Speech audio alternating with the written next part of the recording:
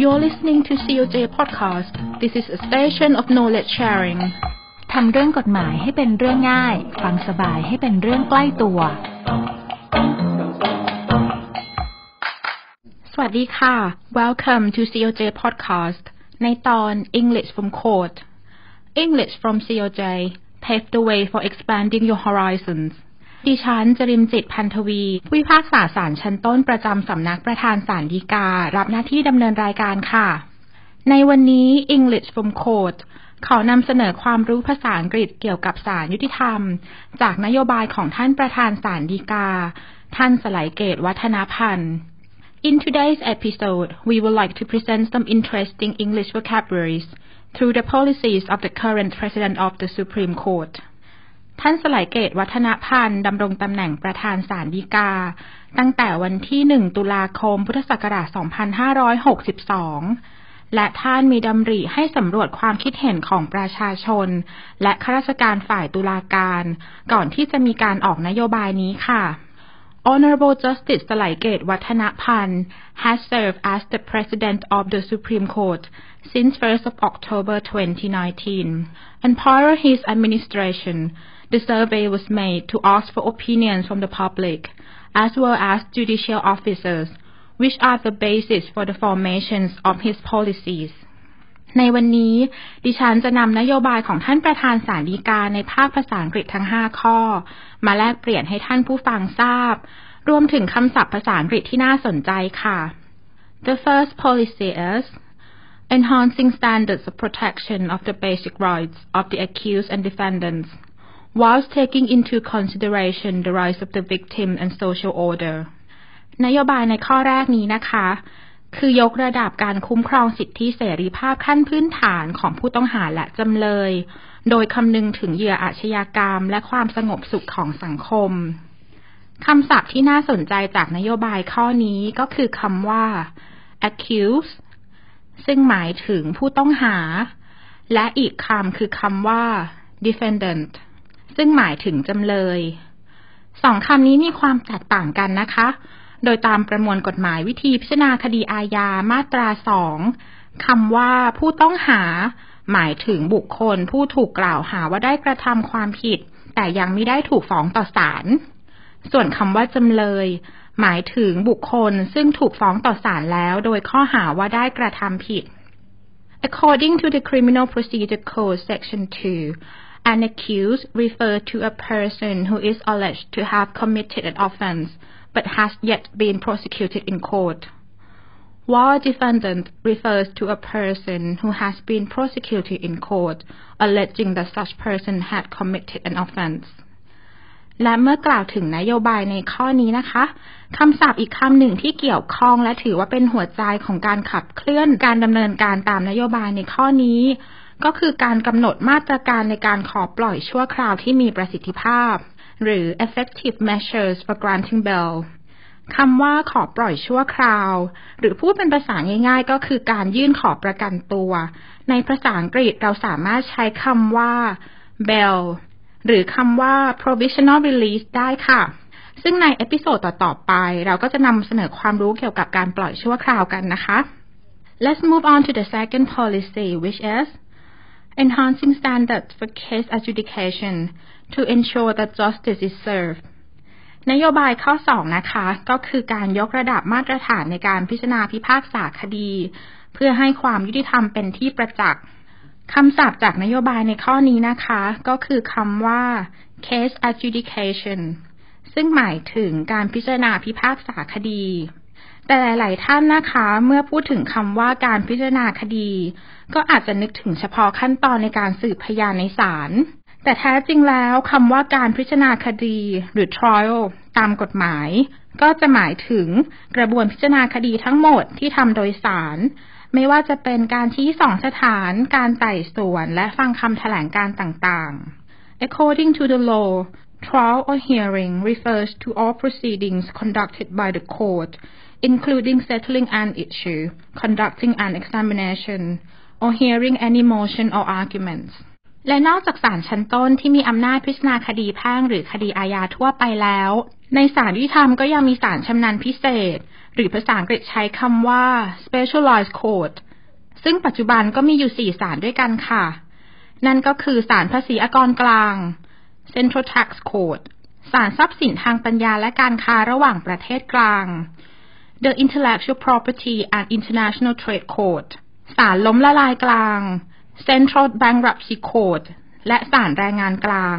Central Labor Court ซึ่งวิธีพิจารณาความในศาลชำนาญพิเศษ ก็อาจมีข้อแตกต่างจากวิธีพิจารณาความในศาลทั่วไปอยู่บ้างค่ะ ซึ่งใน episode ต่อไปนะคะ เราก็จะนำมาแลกเปลี่ยนให้ท่านผู้ฟังรับฟังกันค่ะ The third policy I would like to discuss is utilizing technology to support judicial services, case adjudication and public participation in judicial work. Also taking into consideration various channels that are convenient and economical for the public to use if they have limited access to technology. ค่ะนโยบายข้อที่ 3 นะคะ ก็คือการนำเทคโนโลยีมาสนับสนุนการอำนวยความยุติธรรม การพิจารณาพิพากษาคดี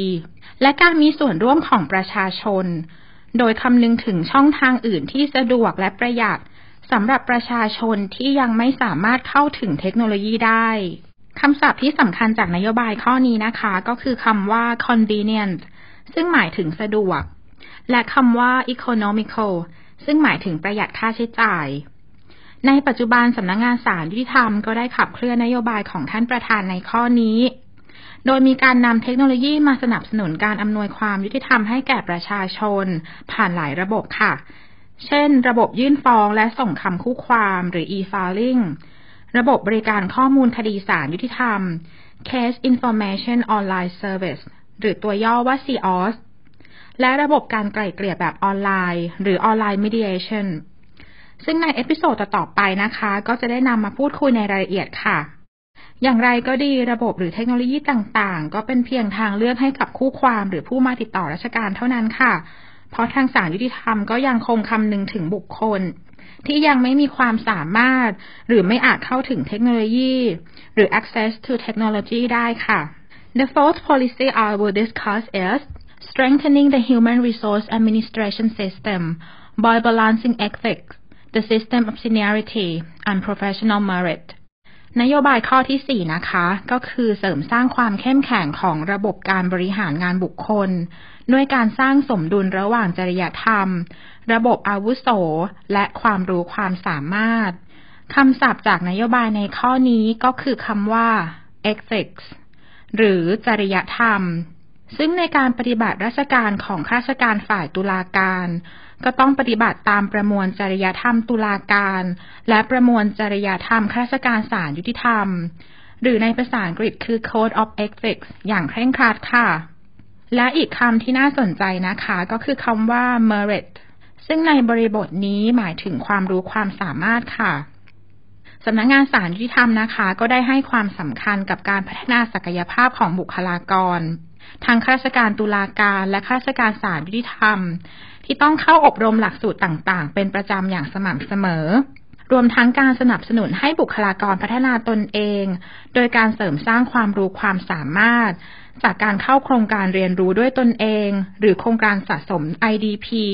ซึ่งย่อมาจาก Individual Development Plan เพื่อพัฒนาบุคลากรให้สามารถตอบสนองงานอำนวยความยุติธรรมให้แก่ประชาชน อันจะสร้างความเป็นธรรมให้แก่สังคมค่ะ Last but not least the fifth policy is supporting the role of the court in law enforcement in ways that will promote environmental protection and will not be burdensome or detrimental to citizens and society และสุดท้ายค่ะ นโยบายของท่านประธานในข้อ 5 ก็คือสนับสนุนบทบาทของศาลในการบังคับใช้กฎหมาย ที่ส่งเสริมรักษาสิ่งแวดล้อม และที่ไม่ก่อภาระหรือเป็นผลร้ายต่อประชาชนและสังคม คำศัพท์จากข้อนี้นะคะ ก็มีคำว่า burdensome ซึ่งหมายถึงภาระหรือยุ่งยากคำว่า burden เป็นคำนามนะคะ หมายถึงภาระ ซึ่งในทางกฎหมายท่านผู้ฟังก็อาจจะเคยได้ยินคำว่า burden of proof ซึ่งหมายถึงภาระการพิสูจน์ ในทางกฎหมายแล้วนะคะ ก็จะมีหลักหนึ่งที่ว่า ผู้ใดกล่าวอ้าง ผู้นั้นมีภาระการพิสูจน์ ยกตัวอย่างเช่น ในคดีอาญาโจทย์เป็นผู้กล่าวอ้างว่าจำเลยกระทำผิด ภาระการพิสูจน์ของจำเลยจึงตกแก่โจทย์เป็นต้นค่ะ และคำศัพท์อีกคำหนึ่งนะคะก็คือคำว่า detrimental ซึ่งหมายถึงเป็นผลร้าย ซึ่งตามนโยบายในข้อนี้ ก็จะสนับสนุนกิจกรรมที่ส่งเสริมและรักษาสิ่งแวดล้อม เช่นการลดการใช้กระดาษ การปรับภูมิทัศน์บริเวณศาลการจัดกิจกรรมรณรงค์รักษาสิ่งแวดล้อม รวมถึงพิจารณากฎหมายที่เกี่ยวกับการดำเนินคดีสิ่งแวดล้อม และทำการประเมิน และยกเลิกกฎหมายที่หมดความจำเป็นหรือไม่สอดคล้องกับสภาพการของสังคม โดยคำว่าประเมิน ภาษาอังกฤษเราใช้คำว่า assess และยกเลิกกฎหมายเราใช้คำว่า repeal ค่ะ ค่ะ ในวันนี้ COJ Podcast ในตอน English from Code ก็หมดเวลาลงเพียงเท่านี้ค่ะ ในโอกาสหน้าดิฉันและผู้ดำเนินรายการท่านอื่น ๆ ก็จะมาร่วม expand your horizons เกี่ยวกับพันธกิจของศาลยุติธรรมที่น่าสนใจกันใหม่นะคะ Until next time ขอบคุณและสวัสดีค่ะ ท่านสามารถรับฟัง COJ Podcast Station of Knowledge Sharing ได้ที่เว็บไซต์ กองสารนิเทศและประชาสัมพันธ์ สำนักงานสารยุติธรรม www.iprd.coj.go.th หรือผ่านทางช่องทางแอปพลิเคชันต่างๆ ที่คุณสะดวก หรือใช้อยู่แล้วได้เลยค่ะ